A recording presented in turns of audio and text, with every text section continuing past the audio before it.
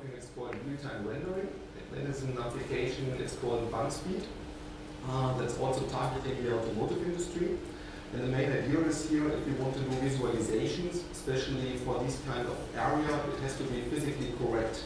So you can do visualizations in two ways. One thing is that you just get roughly a guess how it could, like, uh, could, could look like, and at the end it's, it's okay, for example, for gaming or for advertising, but if you have to, to see if um, this product at the end, if you construct them, or if you build it, it will be exactly the same. So you have, it has to be 100% physically correct. So everything you see on the screen, each reflection, each object, each surface has to be exactly the same how you see it on your screen.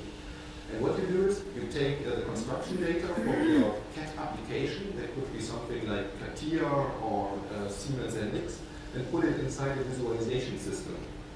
And uh, here, uh, what you can see, when we just uh, put it a little bit, since there there's an easy way how to see how that uh, is physically, physically correct or not since if objects are um, reflecting each other, and you can see that here on, on the mirror, then it's right, uh, then it's correct. So if I switch that off, so this is called ray tracing, so then it's really, really fast.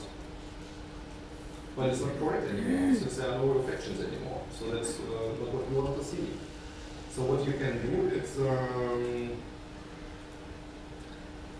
you can change, change the environment so that people can see how their nice Mercedes car will look like the end in your garage.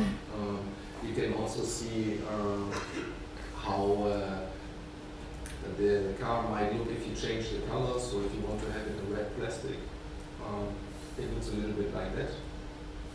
And that's where this kind of technology or these kind of uh, applications are already used. So if you go to your local car vendor if you want to buy a car, you can already see um, you want to see the change the color, you want to change the interior, you want to change uh, the wheels, you can directly see at once what the, car will at the end look like.